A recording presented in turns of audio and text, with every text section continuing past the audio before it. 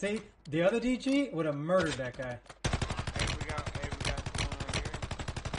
See, no, that's how bad the DG is. I hope you all are paying attention. Hope you saw that chat.